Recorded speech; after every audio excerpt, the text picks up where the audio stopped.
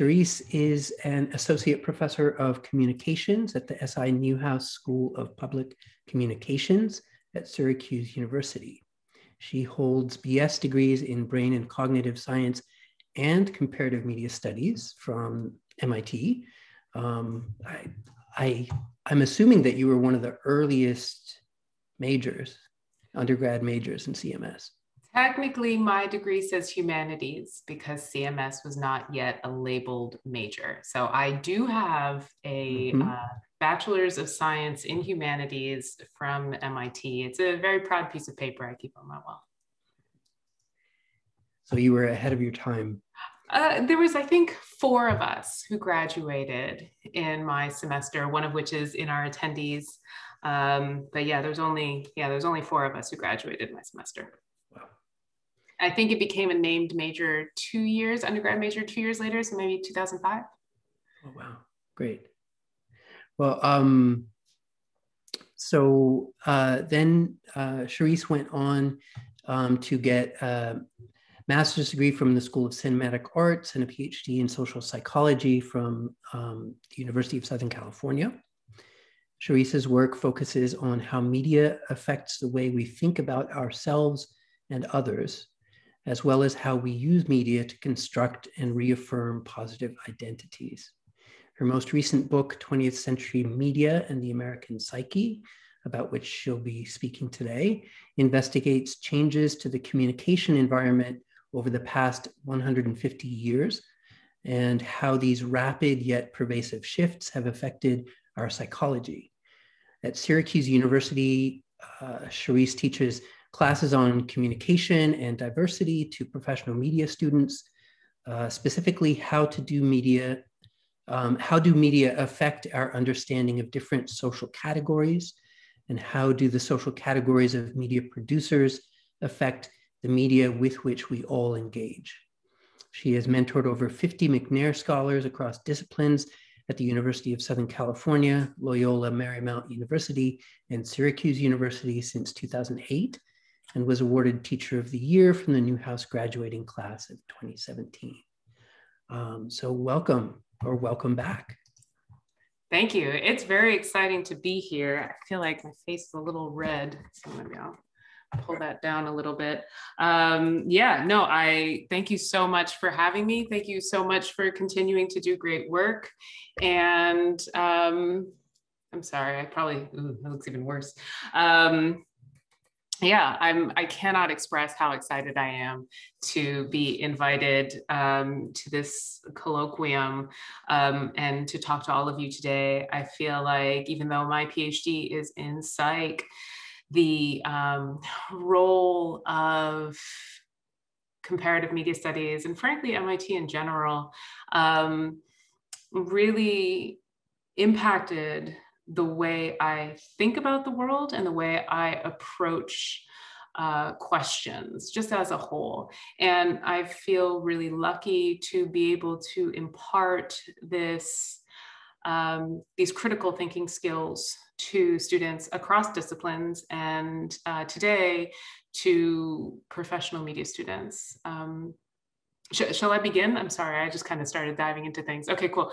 Um, I will say that when I graduated from MIT in 2003, my um, I really wanted to be the head of programming for MTV. Uh, that was my dream job.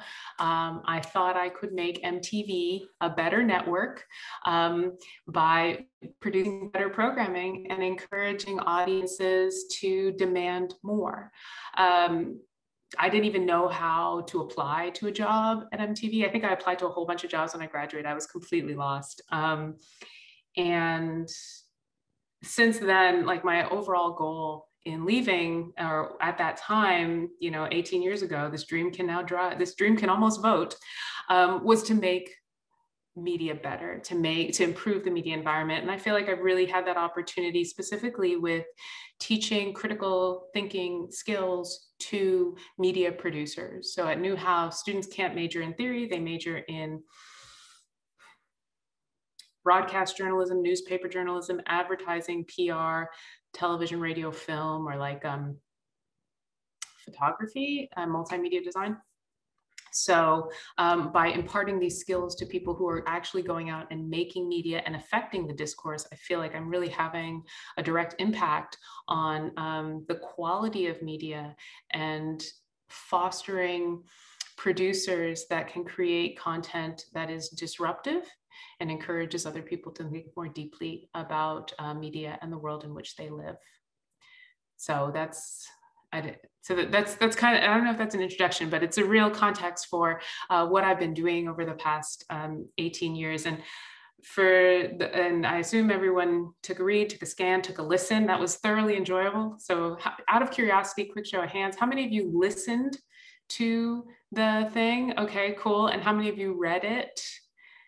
Okay, a few other, few different ones. Okay, cool, thank you. Um, I'm really curious as to the experiential difference in these spaces around, um, in this case, audio only media versus visual media. I feel like um, I make the argument in the so a third, second chapter, uh, second chapter, section one, on the role of uh, the power of audio to um, enact, enable, activate feelings of presence, uh, and the way in which we have become so accustomed to having, for example, our favorite musician in our home, in our bed, in our shower, with us in the car, right? Singing just to us. Technically, they're singing to a whole bunch of people, but they're singing just for us. And that um, that personal intimacy that comes with uh, audio media is frankly 150 years old, and yet it has become so normalized. So it was a delight to read that and create that content and thinking, well, this is for everyone, but knowing that uh, people would be listening to it by themselves. So, um, you know, you spend so much time writing a book and putting all your words into happy little text, and then to suddenly hear yourself talk through it is um, it was it was really striking and kind of an embodiment of the claims that I make in the book in the first place. Um, but I did get an email from a buddy of mine who was reading it. It was like, reading this book is awesome. It feels like I'm in a conversation with you. And so, um, you know, being able to actually bring that to fruition through the power of recorded audio, um, I talk about recorded music, but in the power of recorded audio um, was a delightful opportunity. So, um, well, what I had promised to you today in the talk was to kind of um, talk a little bit about the book, but also to um, chart this sort of cross methodological journey. And so I use the term cross methodological more than mixed methods because traditionally speaking, when we say mixed methods, we're saying, you know, I'm doing a study here in this fashion, in this fashion, and in this fashion, uh, and combining a multiple methodologies uh, into one larger study. When I say cross methodology, I literally mean, well, what did we learn from this method? And how can we combine this method with this other method to get at um, a more nuanced explanation of some global or psychological or media phenomenon. Um, and I will say, you know, I feel like it's an absolute privilege to be able to do that, especially when we talk about academia that's so desperately siloed, right? That if your um, methods don't fit into the methods that have been done, that may work against you later. Um, so I, I put that out there that it's very much a privilege that I've had the opportunity to do this and I've had um, advisors, in, including Professor Ravel. I've had advisors um, who have been supportive, considerate, and always willing to remind me about what is going to work and what's not going to work, despite what I want to do. Um, and so I'll, I'll, just briefly talk about some of the research that I've done, and I've got some slides on um, the kind of my, my current stuff and its kind of uh, cross methodological approaches. And then I could talk a little bit about what a media psychography is and um, the goals of the book itself. And then I'm happy and excited to talk about your research. Um, like I said, or um, like Professor Bald said, I am, I've mentored dozens of McNair scholars. McNair scholars, I don't know if does anybody know what a McNair scholar is? Okay, McNair. So McNair uh, is the Ronald E. McNair program. We don't have one at MIT, uh, which is fine. It'll become ironic as soon as I tell you why. But Ronald E. McNair was um, a PhD graduate from MIT, uh, first Black man in outer space. Um, it, it, was not George Clinton or Sun Ra. Don't worry about it. those are jokes at the expense of Afrofuturism. Uh, so yeah, first Black man in outer space, and uh, he died on the Challenger.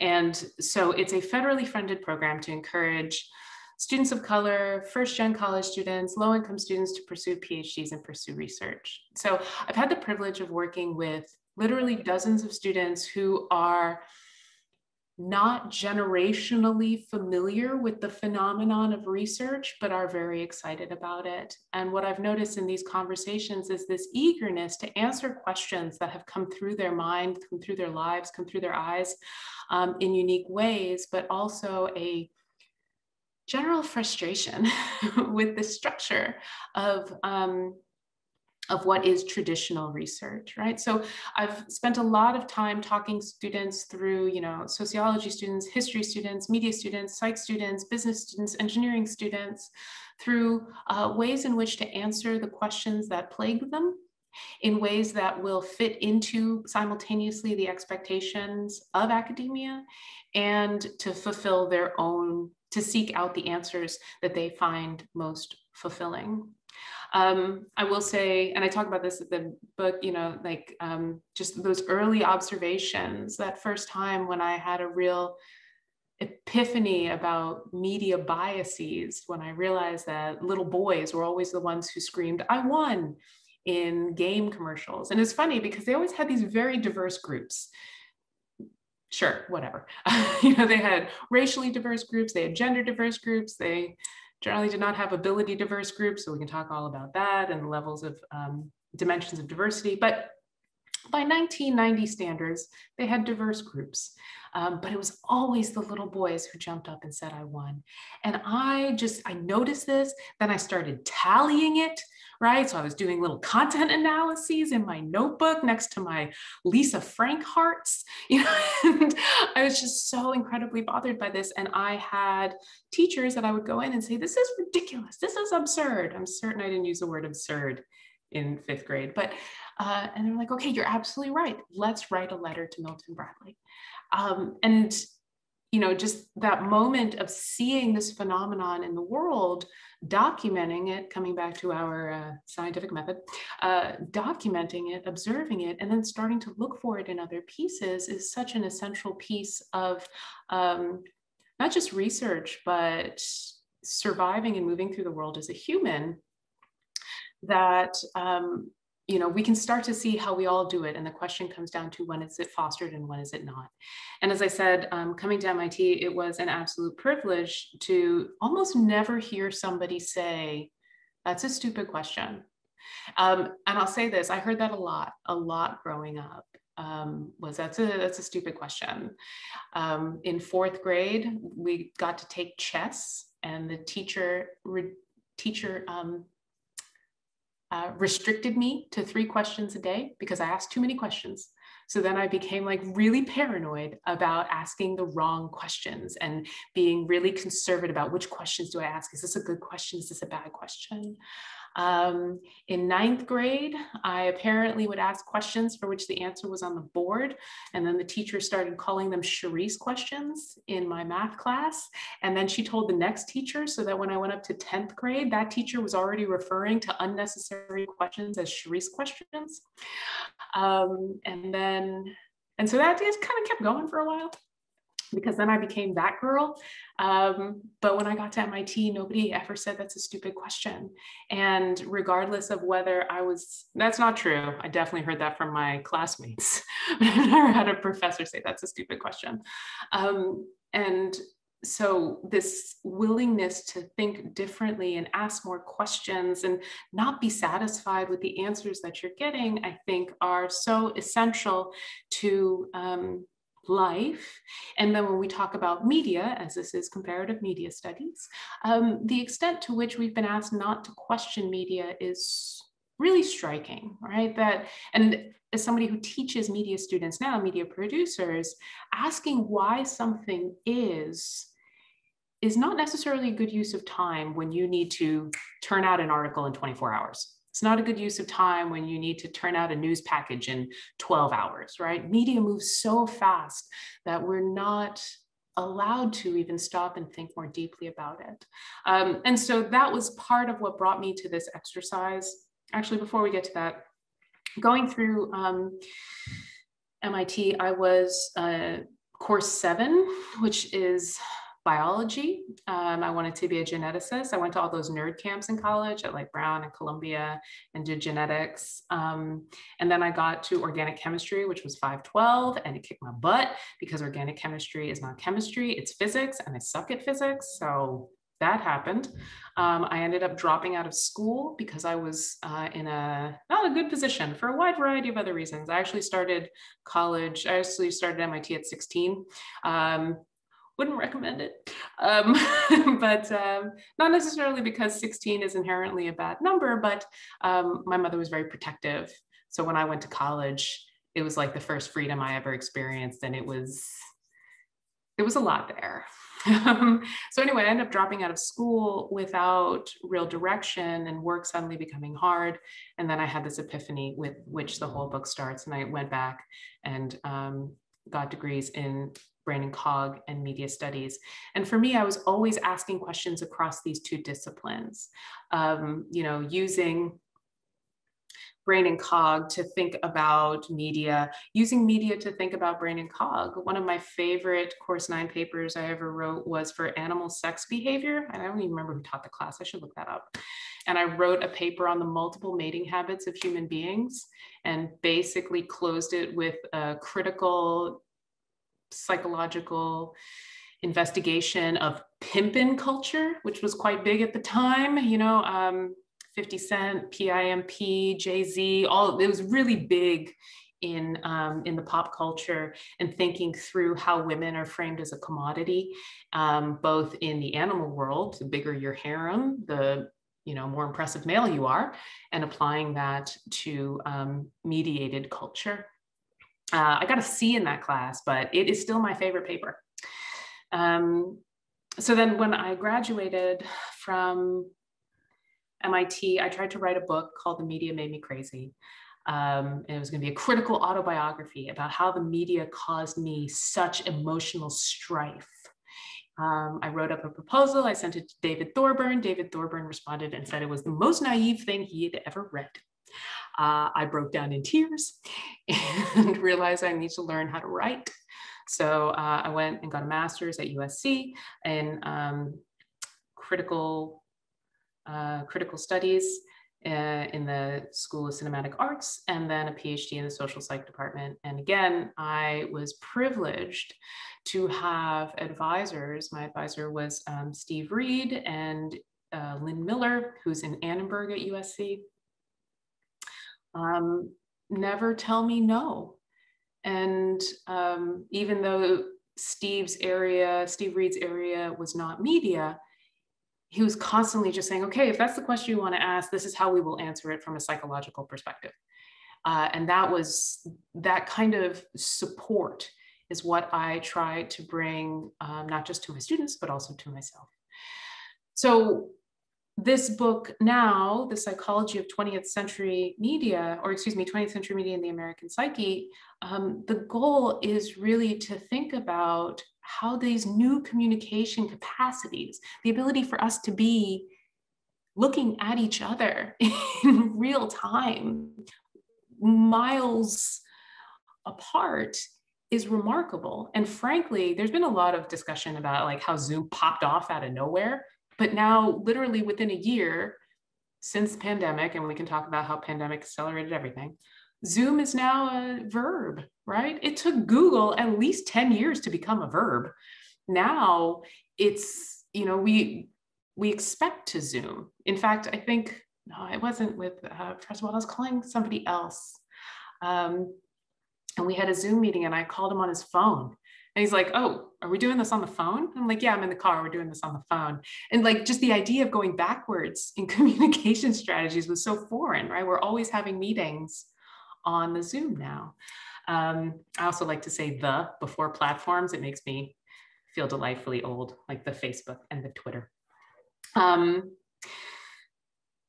so really thinking through these technologies that have become so ingrained in our lives the phone uh, the ability to connect with loved ones and talk to them in real time across distance again is frankly only about less than 100 years old when we start to look at how quickly it was adopted and when it hit saturation and so on and so forth is less than 100 years old. But it has become so normal to the point where my three year old is like yeah let's call so and so right? And so i really wanted to think about this this historiography or to do a historiography um, and I, I'm probably using the term incorrectly, but I really like it, to do a historiography of how media has impacted our psychology over time. Because psychologists, for the most part, are so distanced from history. They really like to say, you know, um, this is what we do, this is how we think, and kind of map that onto how we have always thought. But one of the arguments I make in the um, interview with Henry I think that was also shared is so much of psychology is based in people like manipulations, psychological manipulations are based in media usage. So reading a passage and then manipulating this passage to feature one name or another or a different argument, showing you a picture, right? All of that has become so normalized. But literally 150 years ago, literacy was way low, way down, and we didn't have photorealistic pictures. So everything that we measure in psychology is largely based in a world that we have forgot is based in today and we've kind of forgotten about what happened before the world we live in today existed. And so that was always very troubling to me, and especially as we talk about it with media, you know, that um, communication, specifically communication technologies, in this case, mass media for the most part, media that um, disseminate mass messages, are um, they're so new. They're very new. When we talk about just a blink in the human eye in you know human history they're new. And yet they're so normal and so it was a delight to sit down and kind of collate all of this research in a conversational way to think you know how do these technologies actually impact us and um, change how we engage with the world and how have they done that so remarkably in such little time. So um, I'll just say, and, and then I can pause or stop. Um, I, I, don't want, I, I, want to answer questions like I want to um, make myself available and hear about the work you guys are doing, um, y'all are doing. I read somewhere, I was like, oh, y'all is a much better term than you guys. Um, let's see here. Oh, oh, hold on, let's see. Sure.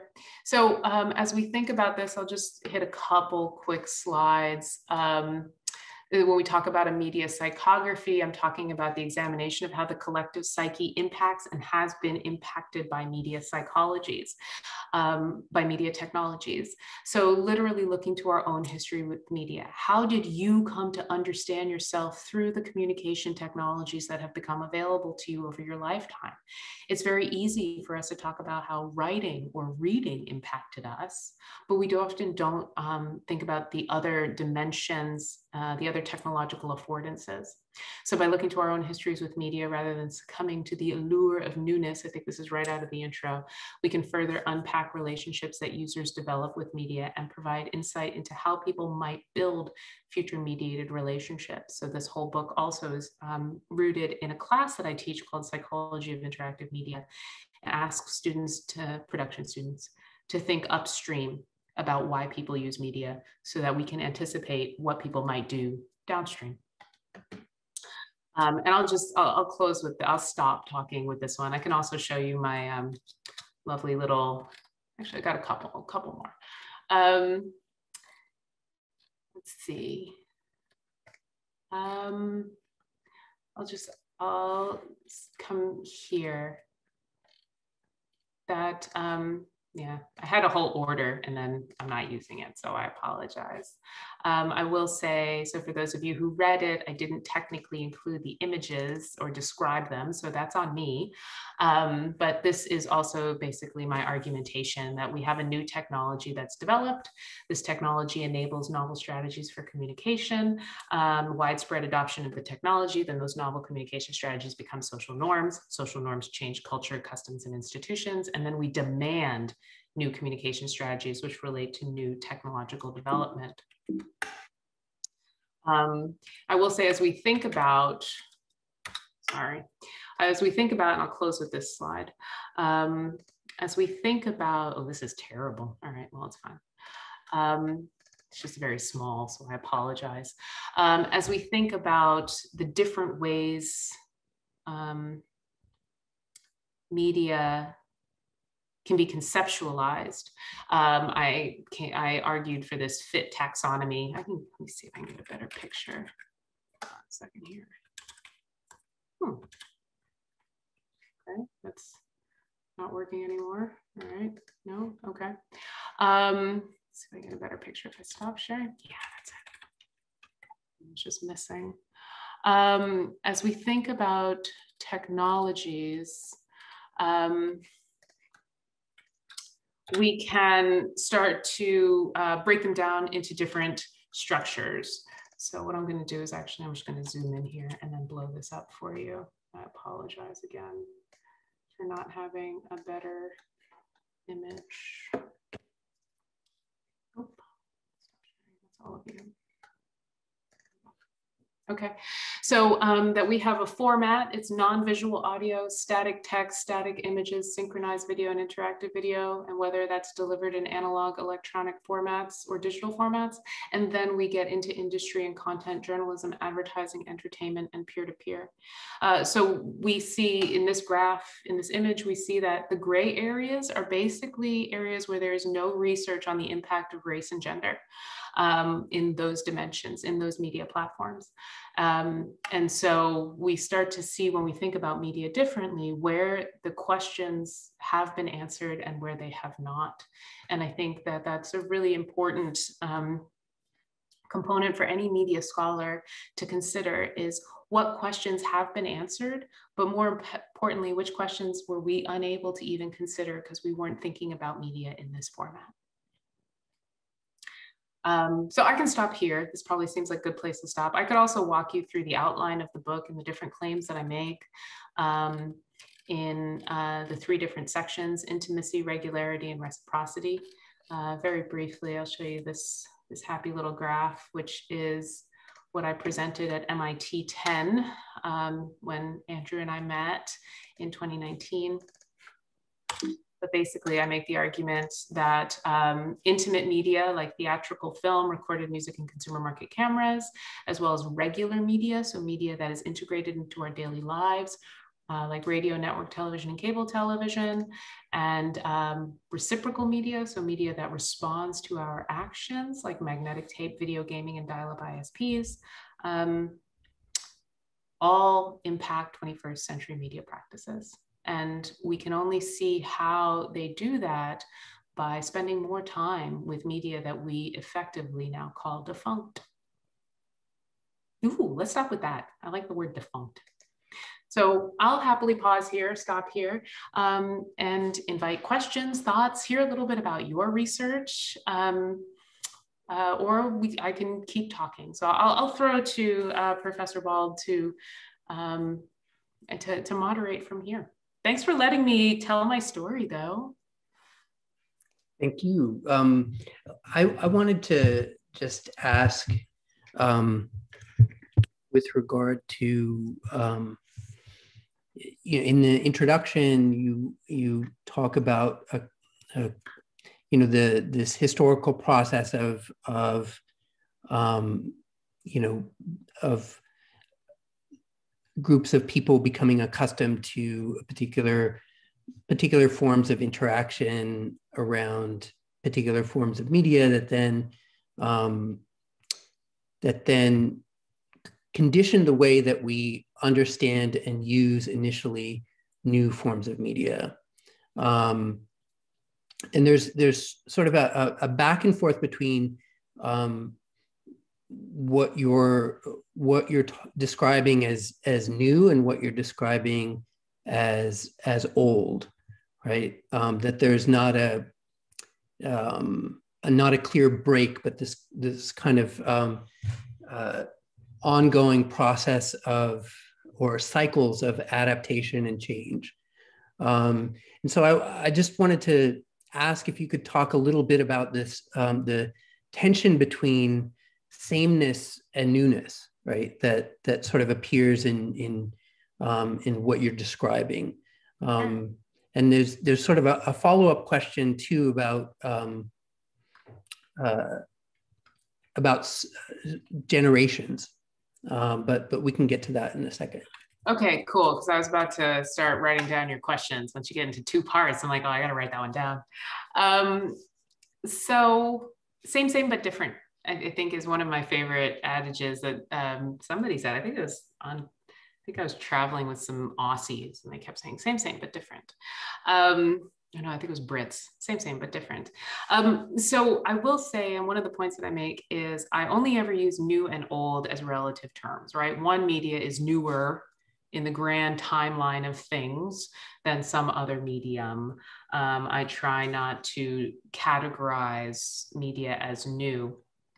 But at the same time, um, new technologies, rhetorically speaking, we use new technologies as an easier way to fulfill old habits, right? So Reeves and Nass say uh, new media engage with old brains, uh, that we use new media to fulfill old habits. So when the cell phone was the cell phone, it was a phone and like we got to use a phone wherever we wanted to use this phone. And then we learned that there was this thing called text messaging.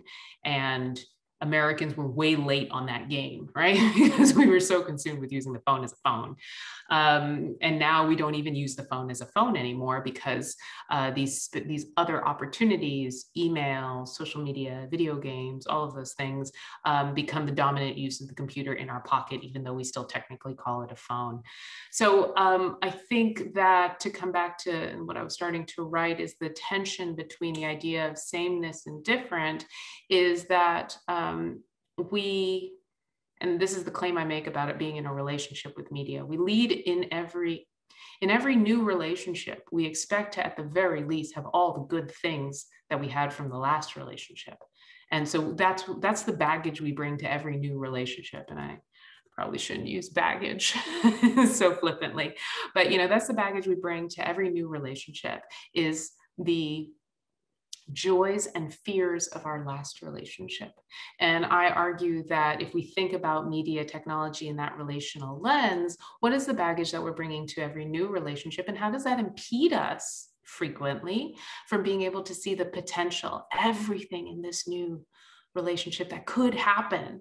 When in reality, we're looking at this new relationship through the lens of our old relationships. And if we map that onto media, how are we looking at this new temporarily temporarily, right, time-wise, uh, new media, medium through the baggage of our old mediums.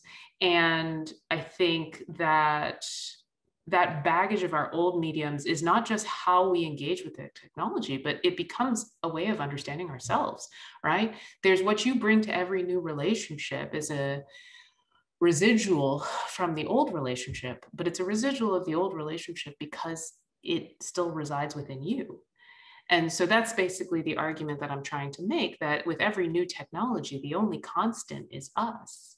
And in that constant, but that constant itself has been evolving because we have all been moving through these technologies, arguably together, um, for, as I argue in this case, 150 years and earlier. Does that answer your question? Yeah, and it, it kind of it connects um, somewhat to the second part. Um, which is that that um, you know also in the introduction you um, you sp- speak about you, you, draw a distinction between different um, you know regions of the world, for example, um, uh, that are differently resourced, that have different modes of or, or, amounts of access to different kinds of technologies. Um, and you um, draw a distinction in terms of the being able to um, sort of make make statements about the psychological um, relationship to media in one place based upon another, right? Mm-hmm. Um, you sort of caution against that, right? Um, what what I was curious about in reading that and thinking about um, uh, the the like aspects of generational change is um,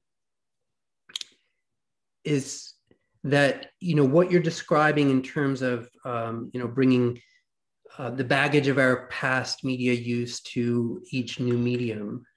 Um, of course, generationally, there will be you know folks younger than us whose engagement with with the new media is actually their originary engagement right um, to to the extent that um, in some ways you might argue that that uh, generational differences might start to look more like the kinds of um, geographic distant differences that that you are um, are speaking about as well. And I was wondering, you know, about um, about that, or you know, what can we say about, um, you know, is there a, a kind of essentially different psychological engagement with technology from one generation to another? Right? I mean, I would say yes. I will say um, I'll make a point that I do caution against generalizing um, a small sample, right? Because I, I, ever since I read that weird article from Henrich et al., Henrich something in Norenzayan. Um, I apologize for forgetting the second author, but um, that weird article about social science, and that is that social science researchers look at Western educated, industrialized, rich democratic nations. And that, and then they go and say, oh, this is generalizable to everybody.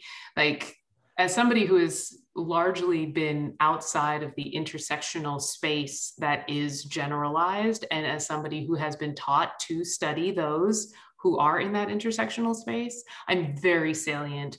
Um, it's very salient to me about what I should and should not be generalizing to, by which I mean to say I've definitely had reviewers ask me where my white control is, right? Why don't you have a white control when I'm doing research literally on Black and Latino uh, populations?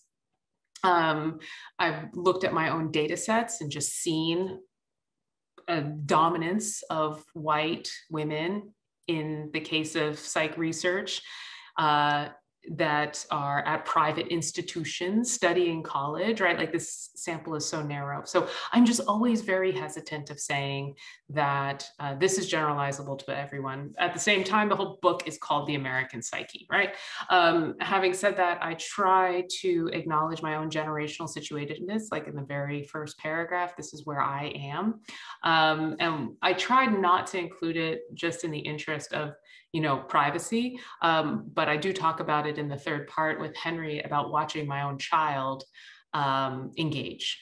And like my husband and I, my husband is five years older than I am, right? My husband and I are sitting here just like watching him come up on the Alexa and be like, Alexa, I want this song. And Alexa just plays it. I will have you know that he has now discovered who let the dogs out.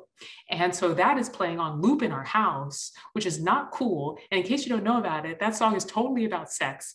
And it makes me very uncomfortable, but he loves it.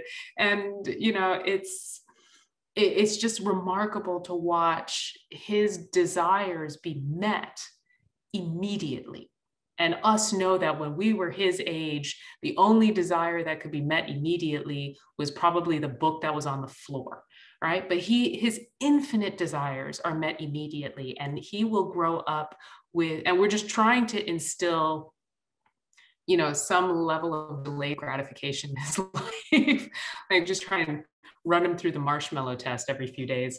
But um, because everything is so immediate to him, I can't even begin to think about what his generation will be like when it comes to this expectation of on demand. Like we came into on demand culture. We came to understand it as adults. We're like, oh, I could watch this now. Instead, this new generation is like, I should be able to watch this now. I am guaranteed to watch this now. How dare you not let me watch this now? Um, and I'm, I'm, I'm fascinated by it. Um, I do think that generational differences, because of the speed at which things um, advance, do have the power to become um, divisions on par with geographical distances and geographical distances seem to be collapsing right? So our understanding of different groups of people and what we have known groups of people to be geographically disparate for example um, what's his name? Is it friedman who wrote the world is flat right? Um, that the geographical distances have fallen have have become less impactful um, less impactful, still impactful, less impactful, um, whereas the generational differences become striking and it is left up to us, you know, a generation coming into content to move faster because the generation born into the content, right? What is it? Um, um, digital natives, that the phrase they use? Um, uh, and that's got all sorts of problems unto itself, but let's keep going for now. Um, like their expectation of what is normal in the world is something that we have to learn to be normal. And i think that um, i think that that difference has the power to have some really interesting and important intergenerational conversations and connections. It just doesn't seem as evident when your uh, you know when your child can do more on your ipad than you can um, well, let me let me open things up um, to questions from our students or from um, from our attendees via the Q and A. I'll also, while we're thinking about it, I'll just go ahead um, and just describe, just give you a little bit of some of the research that I've done most recently. Um, very briefly. So uh, my research interests fall across representation of groups in media content, using media to construct identity and disrupt discourse, and testing the potential of technology. And these are some of the pubs um, an autoethnographic textual analysis of All American Girl, uh, qualitative analysis of Caribbean, uh, multiracial Caribbeans and how they use social media, um, satirical education or educational satire, learning and laughing on Last Week Tonight. I'm actually working on a textbook right now on satire and diversity. So that's pretty interesting. Um, a content analysis of early youth created music videos on YouTube uh, avoidant engagement, which is a collection of quantitative studies arguing for a theoretical and practical model of interactivity and persuasion. So basically what happens when you can skip ads, it makes you like the platform more and hate the brand. Like the platform and hate the brand. And then uh, this is a fun little cross section when we look at it qualitative, quantitative, or critical. So these are just some of the things I've been working on over the past couple years um, and the diversity of um, research questions, but in the end, all of them are to get at the same question, which is um, to talk about your slip of the tongue at the beginning. How do we media, right? How to media, how do we media? So um, I, was still readable. Awesome. I think that was my, uh, I'm sorry, I'm bad with chats. I think that was my table from forever ago. Thank you, Andre. Um, questions, thoughts, angry rejections of my theory. Uh, I want to go with Tomas. Can you pronounce your name for me? That's perfect. That's Tomas. Um, and yeah, the question was around that about the pronunciation. Um, so, um, so something that we've been thinking about lately in in the department, we have a small reading group that's concerned with Latin American uh, media studies, just reading media studies from Latin America and understanding how this tradition of media studies uh, kind of goes with uh, Latin American studies, with understanding cultural studies and that kind of stuff. And I, I understand your work goes in these directions, right? You will address terms of Latin Latinx media and the things that I think in the last two years are uh, getting more and more attention. And I was wondering if you could give some insights on whether, on where do you see that going, if you think there's, uh, how do you approach uh, um, understanding Latino audiences and and maybe if we were thinking about uh, what advice you could give to students who are approaching these topics, maybe? Sure, thank you. I will say that um, my expertise is in um, processes of subgroup media. So I will I will outright say that my expertise is not in Latinx media.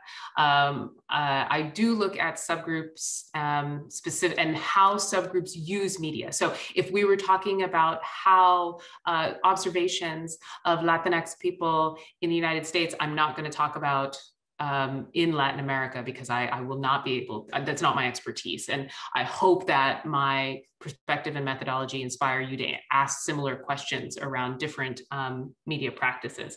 Um, I think a big piece of how we're talking about it, um, and I, will also say, so I do have work on uh, multiracial Caribbeans, but my family is British Caribbean. I'm British Guyanese. Uh, so it's always funny because people are like, oh, you're from South America, so you must speak Spanish. I'm like, no, you don't, you've missed some points here, that it's a much more complicated thing than you've come from this geographic region, therefore you must be this. Um, but, and I think that that sentiment is still very much, is, um, in my observations, I think that sentiment is very much pervasive in new media discussions, and new media is in digital, social media, user generated content in these subgroups, any given subgroup um, where they're demanding people to think differently about their existence. And that's uh, when we're talking about Latinx media in the United States, where many of these um, that have been marginalized for such a long time um, the content that I'm observing is very much about pushing back on faulty understandings of a group.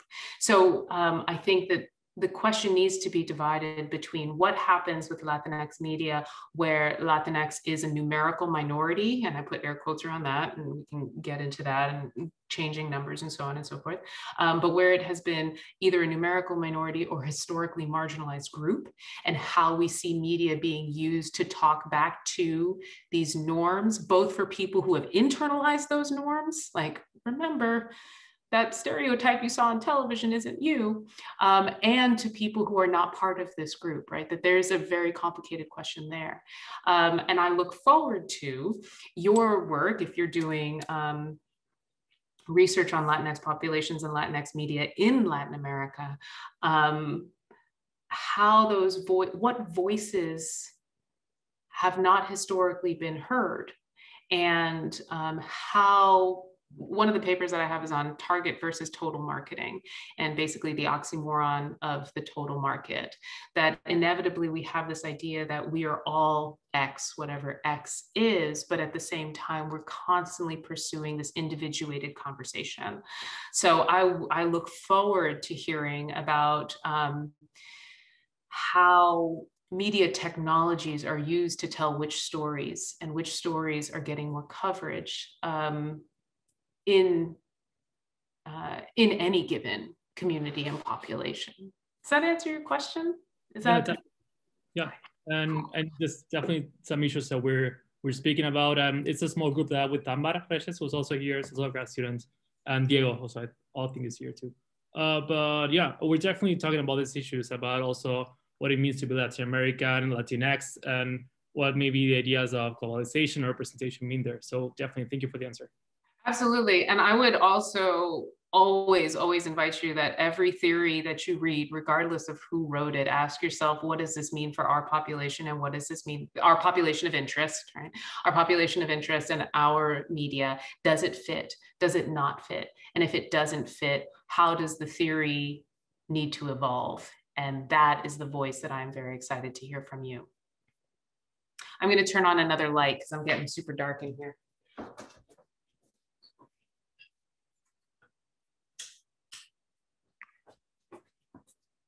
Thank you.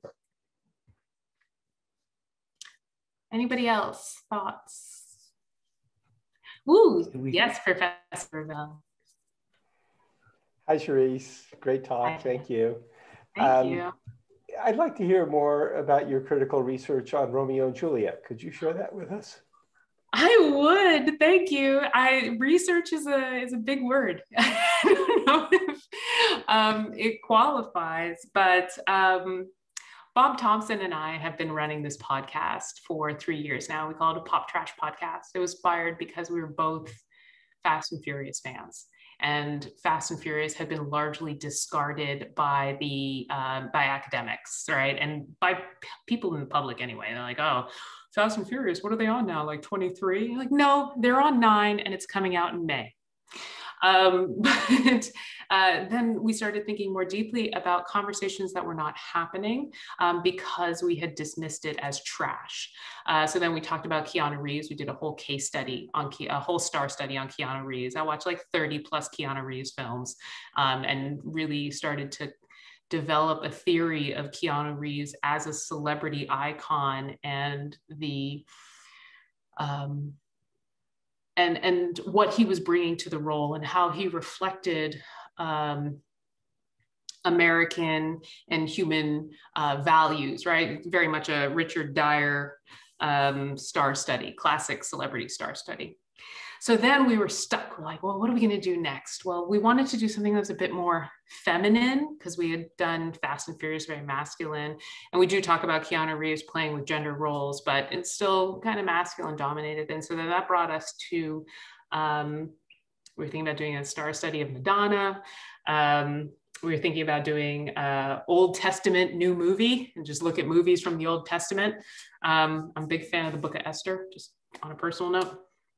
Um, but then we went with Romeo and Juliet, specifically looking at the remakes of Romeo and Juliet, right? So Romeo and Juliet is it's not pop trash, but it is kind of ultimately postmodern, right? We all know the Romeo and Juliet story, sometimes because we are required to read it in class, um, but it's become such a um, almost cliche piece of culture that we can now play with it.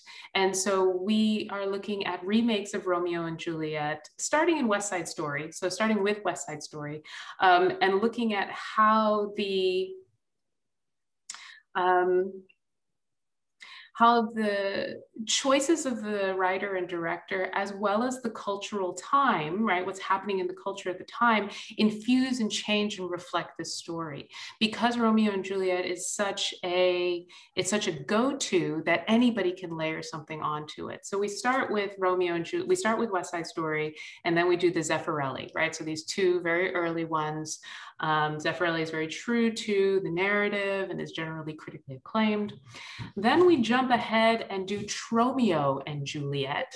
I don't know if anybody is familiar with Troma films, but they, uh, Toxic Avenger, it's like gross out B movie, really inappropriate stuff like incest and mutilation and basically all the stuff that made Shakespeare great. Uh, that's the tagline of the film but then thinking through how this kind of gross out punk culture of 1996, uh, directed by James Gunn, by the way, of Marvel fame, um, reflected the sort of punk grunge uh, DIY culture that was happening in media, specifically through um, phenomena like uh, video cameras, also MTV, and just you know seeing how this kind of um, Gen X uh, gross out version of Romeo and Juliet. Then we do, of course, the Baz Luhrmann. Uh, that's with with Leonardo DiCaprio and Claire Danes. That's that's the one.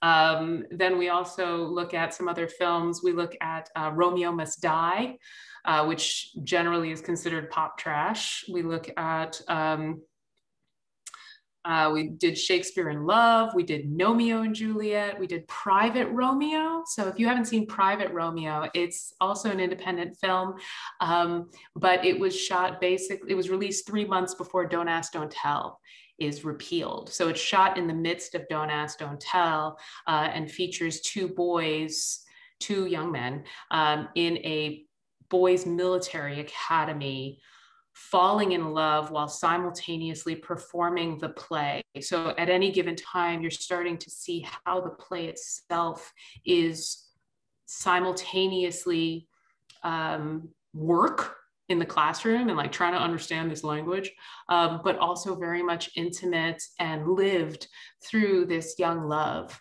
Um, so that was great. Um, we also watched David and Fatima, which I was very honored to be able to expose that to Bob for the first time. He never knew that film, and it's basically uh, Israeli Palestine in uh, um, Romeo and Juliet in Jerusalem, um, starring Martin Landau. It's Martin Landau's last film, along with Tony Curtis's last film. So it's it's really weird, but um, it's it's fascinating and just looking at how this story has been retold over and over and over again. Um, and I'm trying to remember who the the character from Gossip Girl he's British and he plays like the evil one. I can't remember. Anyway, he plays Tybalt in the 2013 version. And in an interview, he said the thing about Romeo and Juliet is that every generation deserves their own. Um, so when we take that language and start looking at how are we telling generational stories through this story that we all know. And it has been a joy. And thank you for asking. Um, so, you know, like, comment, subscribe. You can find it at criticalandcurious.com. I'm about to release episode nine, which is Shakespeare in Love, and then episode 10, which is Romeo and Juliet. And then we close with the 2013 and uh, Romeo and Juliet in Harlem.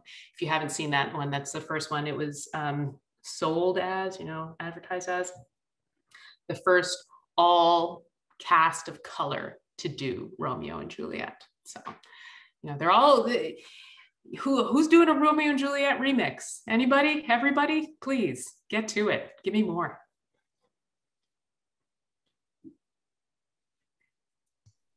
Um, we have a, a, question from the Q and A. Yes, a couple please. of them actually. Um, so this is from Mohamed Reza Nasiri. Um, hello and thanks for the talk. In that chart that is also on page nine, where you consider the evolving interaction between top down and bottom up norm setting. Um, so, for example, uh, Twitter first started to adopt hashtags in a systematic, systematic way after Iran's 2009 protests, and then later in the protests in Arab countries. And that changed the structure as well as the use of Twitter, and also the whole adoption of hashtag even in our everyday conversations. Mm-hmm. This kind of interaction is especially more powerful in the new interactive media as for example, the norms of filmmaking were mostly set by a few studios in a more top down manner. As a result, the norms of filmmaking have also changed and evolved very slowly and actually mostly unchanged since then. But the norms of new media and hence our communication is evolving faster due to this constant two way interaction. Yes, um, uh, yeah, no, I completely agree. And again, I think the accelerated speed at which we see things change are is essential. Like we have to acknowledge that what is current today will not be current tomorrow, and that that level of evolution is not um, is is new. It's definitely new. Um, I will also say it's funny that you bring up film because one of the papers uh, that is it's in a book called Mediated Millennials and looking at how um, youth generated music videos and from 2007 to 2013 um, and looking at how in 2007 it was very much adopting uh, tropes from film and kids were just trying to like remake their favorite music videos. But then by 2013 we see this real emphasis on kind of individualized and selfie culture which was not necessary which then like wrapped into the music videos that were being made at the mainstream level. So to things advance quickly because they can be shared in my opinion can be shared so quickly right? So you have that back and forth. Um, and now you see that older mediums uh, desperate to survive are mining whatever the young people are doing in hopes that that will bring them into the theater. Um, i think it really comes down to um, institutionalization, right? Film was institutionalized before it was required to change. Uh, it had 30, 40 years before television came along, and then television was like, we're taking this, good luck. And then film was forced to change, as opposed to um, other technologies, as opposed to like Twitter and social media. Um, their institutional power just comes from the number of users they have in my opinion. Um, you know and the fact that they've got whatever hundreds of engineers that can turn around a new a new skin like every six months. Stop it facebook. Just stop it. Sorry. Thank you. Uh, kelly had their hand up for a while and so did ambar. I believe i'm pronouncing those correctly. Please correct me if i'm wrong yeah, thank you for the talk. Um, I was curious when you've been thinking about relationships with media, if you've thought about people's relationships with media that talk back, like robots. Like, how do you think, from a psychology perspective, people should be thinking about their relationships with like that level of interactive media? Sure. Um, and I think before we even get to robots, we can talk about, um, we can, I guess Alexa is a robot.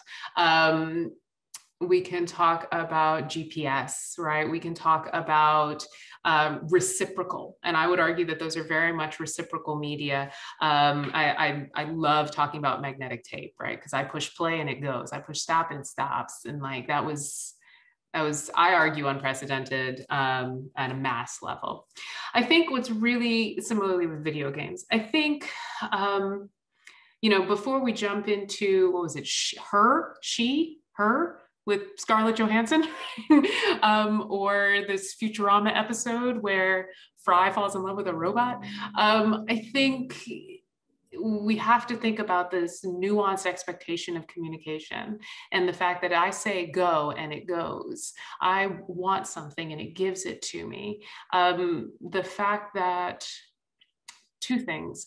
You know the fact that we can have our emotions immediately our needs not emotions but our needs emotion immediately gratified um, is something that we have to remember. Like we have to be conscious of it. Um, and so i'm not saying don't use robots. I'm saying that robots are not humans. Reeves and nass would say we might forget. Um, and secondly oh crap. Did i lose it? I had such a good one. Um, oh, I do talk about um, the availability paradox and this idea that when the world is at your fingertips, we don't pursue it, right? And I, I track this back to like cable news, right? Um, cable news channels are all within the same like 10 channel spectrum, right? Like if you go up two channels, you go from MSNBC to Fox News. Uh, so you can literally push a button and have a completely worldview, completely different worldview presented to you but we don't. And I have so many students that come into my office like, they don't, I don't know what this word means. I'm like, yo, you're literally sitting with your phone. All you have to do is say, Siri, define this word and it will tell you this word but instead we're like oh just it's just too much stuff it's just too much so i would argue that a we have to realize that that responsiveness is is is a privilege right as opposed to the norm as opposed to the standard um, but at the same time how are we using that responsiveness to improve our own lives, or how are we becoming a little bit lazy um, by not utilizing the full potential, coming back to potential promise and practice, using the full potential of a given responsive technology. Um, and in the case of robots, I mean, do we have robots that aren't connected to the internet anymore? I mean, I assume so.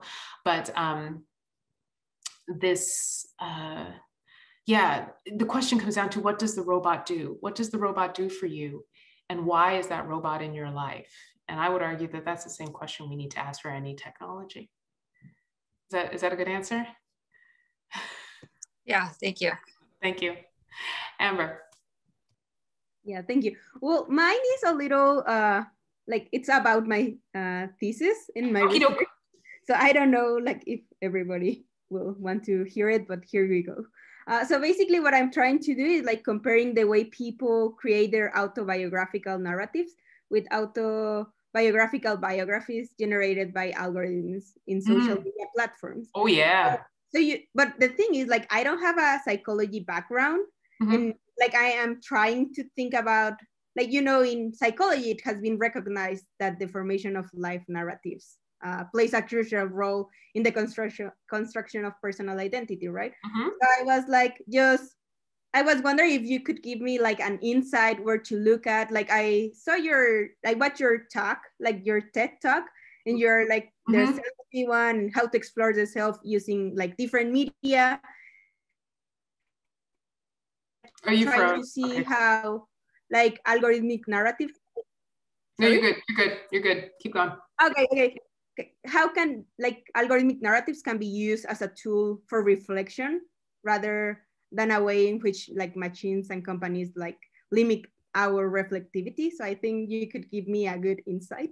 Well, I do discuss in chapter three on um, consumer market cameras and basically how consumer market cameras allowed us to create our own autobiographical visual narratives easily, right? Like I push a button, I have a picture of this moment, and I can line them all up and create an autobiography. Um, and so I do talk a little bit. You, you'll like that chapter because it gives you a little bit about the psychology in how we construct memories through visual images. Um, and I do explicitly talk about algorithmic um, pushing of stuff, right? So I keep getting notes from like Shutterfly. Oh, this was your, so what you did four years ago. I'm like, cool. And I forward it to my friends and I keep going. Um, or Facebook will give you a whole pushing your memories back because we don't often stop to think about, well, let me rephrase that. Some study said we'll only ever look at 25% of the pictures that we ever took. All right. And so this is what I love about these algorithmic memories is that it's like, oh, you shared it. Well, here, look at it because you weren't going to go back and look at it. So I do think that it meets a real psychological need where we get to see and remind ourselves of things that we had forgotten that we wanted to remember. Um, so I do think that the book, and specifically chapter three, and I will say this, you know, the whole book has however many hundreds of citations. It is designed as a prior literature with respect to media, technology, and psychology for these nine technologies.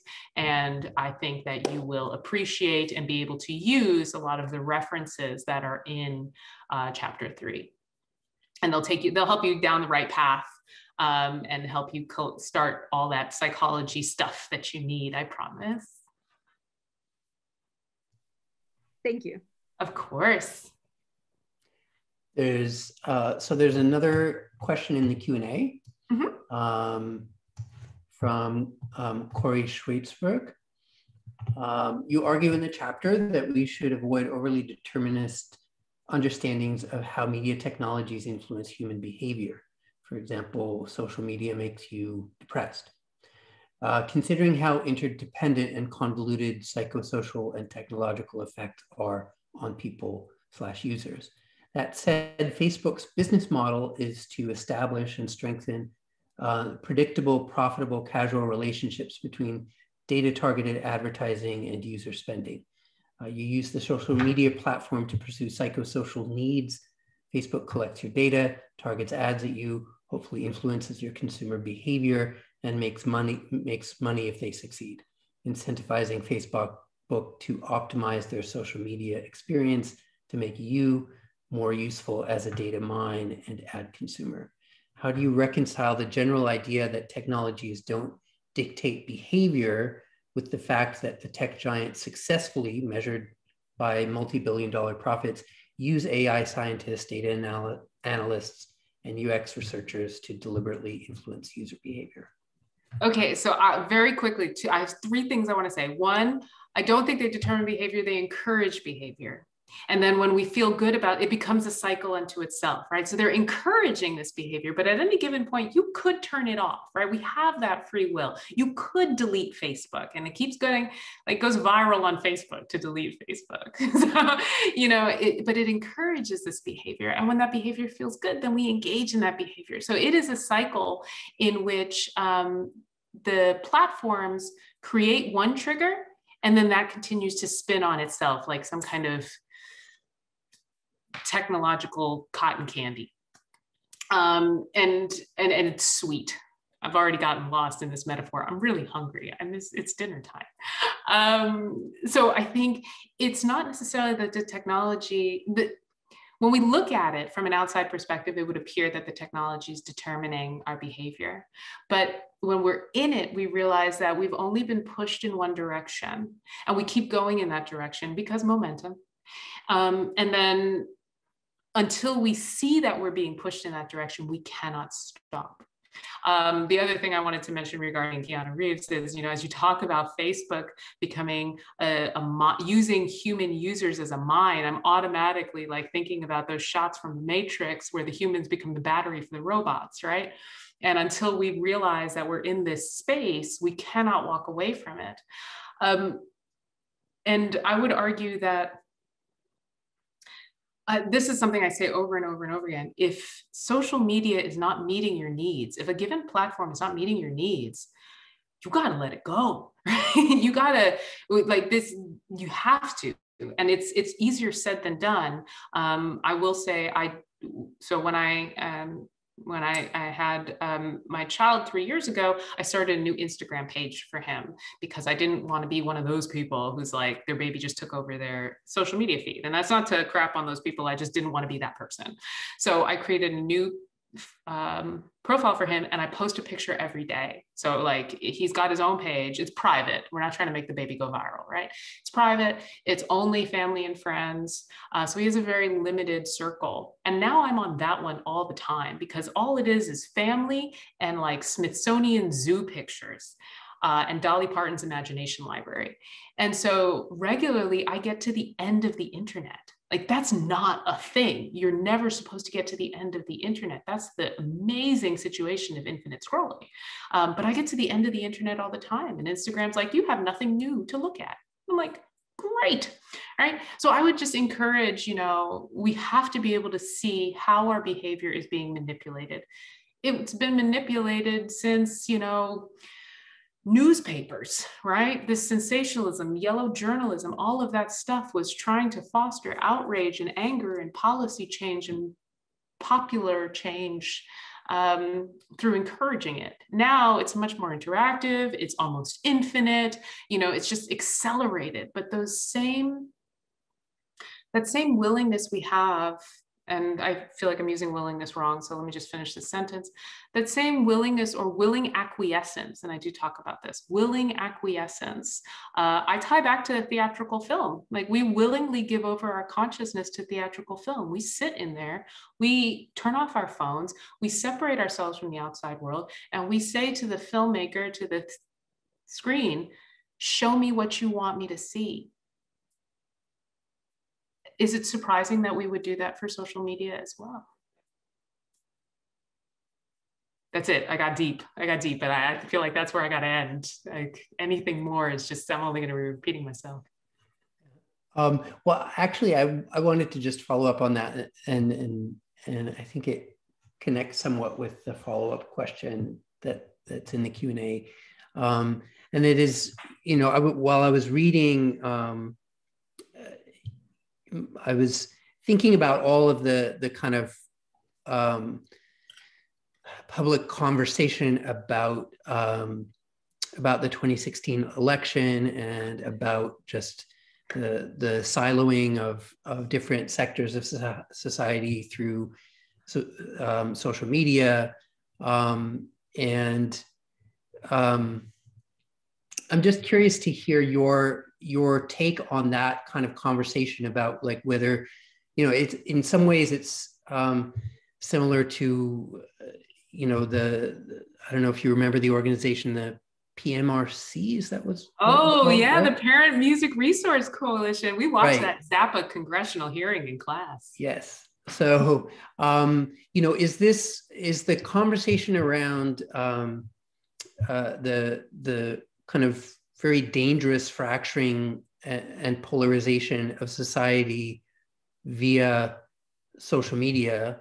Um, uh, is it uh, just a new version of the the kind of conversations that were going on with the PMRC and others claiming that um, that punk rock and and heavy metal were creating violence in in society um, or is there something you know that is due to the the the nature of these technologies the speed the the scale that actually um, where there are actual potentially very negative effects broadly in society well, just to let you know, you guys all know that uh, to harken back to the PMRC, Prince invented sex. You know that, right? Like that that's that's what happened.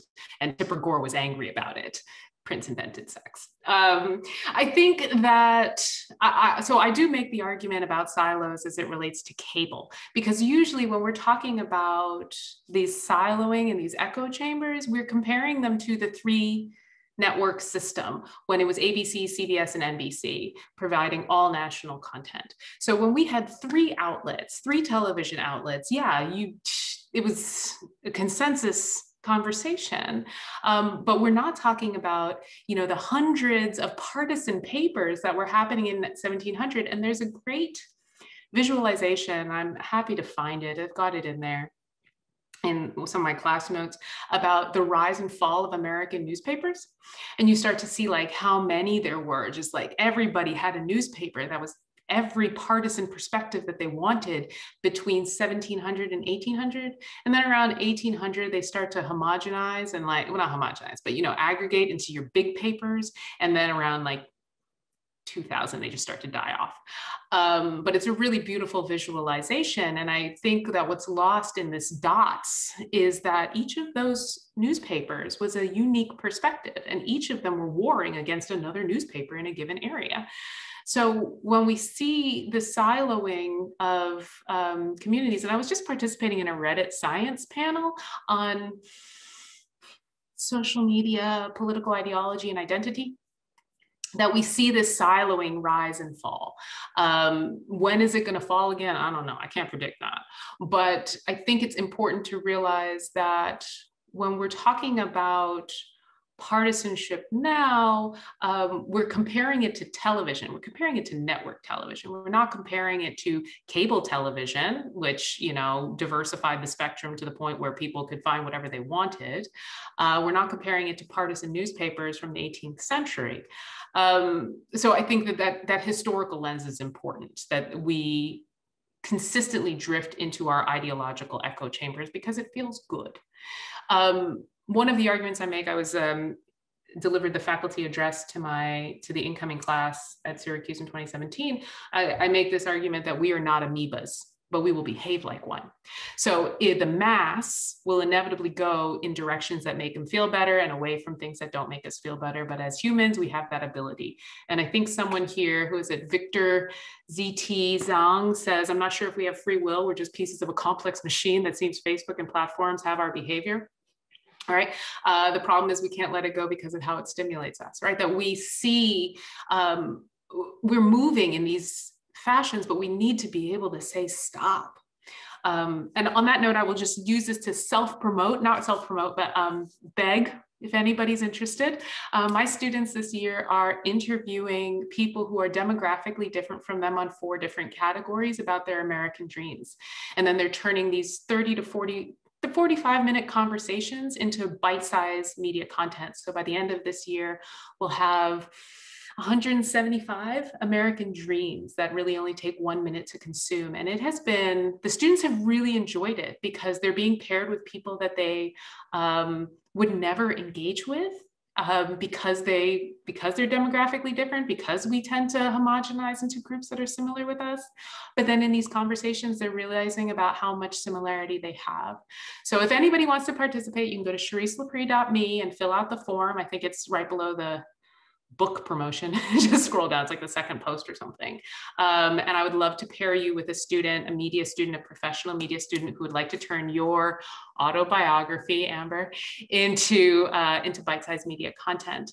Um, I also was part of a conversation I was a consultant for BuzzFeed and Procter and Gamble doing this thing called Talk About Bias, where people were paired with strangers to talk about bias.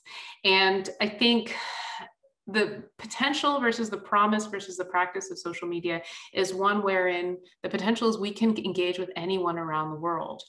The promise is we will be told that our needs will be met, and the practice is we engage with the people we want to. All right. But I think we need to revisit that potential. But the potential itself is scary. And I will mention this briefly. My stepfather, when he got on Facebook, friended everyone everyone. And he was like, I'm going to talk to the world. And I know people here, here, and here. Everyone. Felix, I'm sorry if you're watching. Everyone. then all of a sudden they start messaging me with their creepy messages and they're like i'm friends with your father and i'm like dude stop then he realized that it's a weird weird weird space and now he's not on facebook anymore so i think you know we have to we can use social media as i say as um, victor mentioned in the chat we can use social media for our own needs and we have to remember that we can take control. And at the same time if we need like start a new facebook. I have another facebook for my cats that only has 10 friends. It's great. So you know like do with it what you want remember you don't have to let facebook or twitter or whichever other algorithm based platform is satisfying um, to define your only usage that was a long walk. I don't remember what the original question was. right. Are there any, we're almost out of time, but I just want to just see if there are any other questions out there. Uh, I will say there's a couple in the chats, so I'll just hit those. Mm-hmm. Roya, apparently a distant relative of theirs, worked on Romeo and Juliet in Yiddish. That's cool. I will say one of our choices on the Romeo and Juliet one was only was American, so there are a lot that we did not get into. It had to be so you know like there's literally 200 in our database um, globally, and so we just cut, had to start cutting things down. So we cut them down for uh, American productions or joint but they had to have American production. So I look forward to watching that one. Um, Amardeep, again, correct me if I'm wrong. I come from a decade of an engineering background and media studies is a bit foreign yet fascinating. During your talk, you repeatedly thought, I repeatedly thought how I, my dad, and my four-year-old interact with various media forms. Loved it. Awesome. Absolutely. And like just had my book is dedicated to Diane and Constantine. Diane is my mother and Constantine is my son. And the line I say is, um, who remind who help me see the past and the future. Uh, and I think that those intergenerational concepts are intergenerational components are so important. Um, and uh, Anna was our last comment. I found it really interesting the notion the end of the internet. I'm an editor based in Mexico City, and one of my collaborators suggests that the end or limits of the internet may be where there is no signal, for example, in indigenous communities. Yeah, sure. Do you think critical thinking may be useful, or which methodological tools to integrate them on the internet from an anti non post colonial perspective? Well, that is a conversation for a talk unto itself. And I hope, uh, Professor Bald, when you do, uh, you'll, you'll bring me in on that conversation as well. Um, you know, I just, I, participatory media, also something I learned at MIT. We have to bring in the people who are using it to have these conversations. And so, you know, the only anti-colonialist perspective that involves a colonized group foregrounds and centers said colonized group uh, or previously colonized group i should i'll figure out that language later. We'll correct that in post. Um, and I think that so much coming back to some of our other points about um, media companies mining us for data, there's something to be said. There's a dot to be connected with the way in which we have historically treated certain groups, mining them for their resources, mining them for their labor, mining them for their land, and leaving them barren. Um, if we start thinking about this phenomenon across perspective, uh, across time, across groups, I think that we can begin to tackle the questions of today with a more nuanced approach. Ooh, that's good. Let's close there. That's fantastic. Thank you so much, Charisse. Um, and um, oh, is it? Yeah. Oh, Andrew brought it. Okay, uh, let's yes. see. Let's uh, Alexa. Do you want to come upstairs and say hi to student? Alexa, announce. Do you want to come upstairs and say hi to students? Oh, Alexa's angry. Oh, I would have to go get him. You, I mean, I'm happy to. See. Oh, if you have to go, you have to go. Um, but I'm I'm happy to collect him. Um, or I could just show you. Do I have my phone? Let's see here. Um, he's very sweet. Uh, let's see. Um, here he is. Go ahead, say. Oh wait, hold on. I'm sorry. This is probably not a good use of our last minutes together, but Um, he had a really good one the other day. Okay. No, we do not poop in our diaper. Oh, okay. A store that poops in the potty. Ooh, who leaned over like that and pooped in the potty? The store. I'm sorry. Yeah. So anyway, yeah, he's, we're working on potty training, and Yeah. I don't think there's any technology that helps you with potty training. That's that's what we've come. You know what works with potty training? M and M's.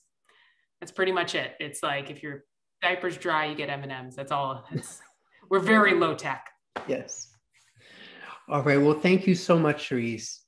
Um, and um, look forward to reading the rest of your book. Thank you so much. Thank you so much for having me. I really, really appreciate it. It was an honor to come home.